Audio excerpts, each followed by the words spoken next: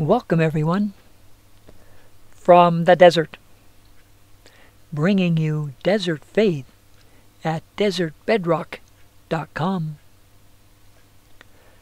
Let's begin as we begin all things holy. In the name of the Father, and of the Son, and of the Holy Spirit. Amen.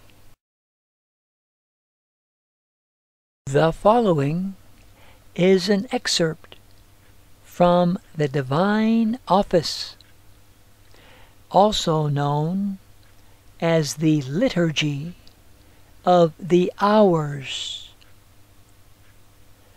The second reading that is taken from the Office of Readings.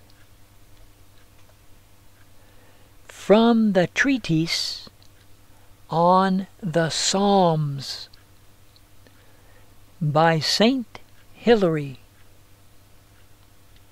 Bishop. The meaning of the fear of the Lord. Blessed are those who fear the Lord, who walk in his ways. Notice that when Scripture speaks of the fear of the Lord, it does not leave the phrase in isolation as if it were a complete summary of faith. No, many things are added to it or are presupposed by it. From these, we may learn its meaning and excellence. In the book of Proverbs, Solomon tells us If you cry out for wisdom and raise your voice for understanding, if you look for it as for silver and search for it as for treasure, then you will understand the fear of the Lord. We see here the difficult journey we must undertake before we can arrive at the fear of the Lord. We must begin by crying out for wisdom. We must hand over to our intellect the duty of making every decision.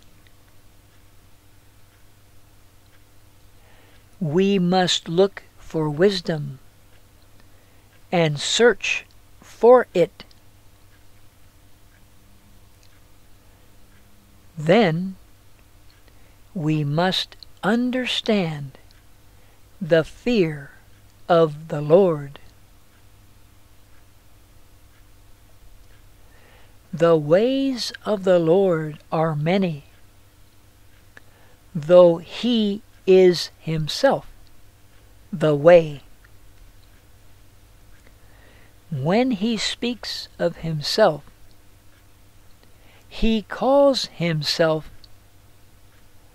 the way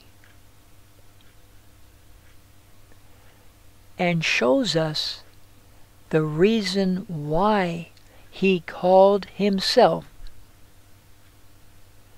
the way. No one can come to the Father except through me.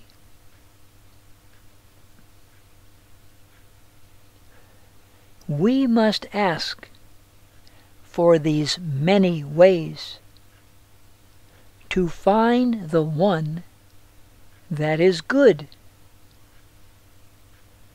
That is, we shall find the one way of eternal life through the guidance of many teachers. These ways are found in the law, in the prophets, in the Gospels, in the writings of the apostles,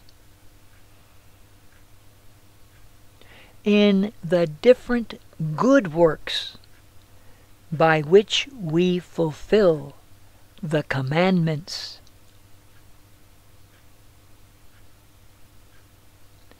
Blessed are those who walk these ways in the fear of the Lord. From the desert, with desert faith, this message has been delivered to you individually and collectively.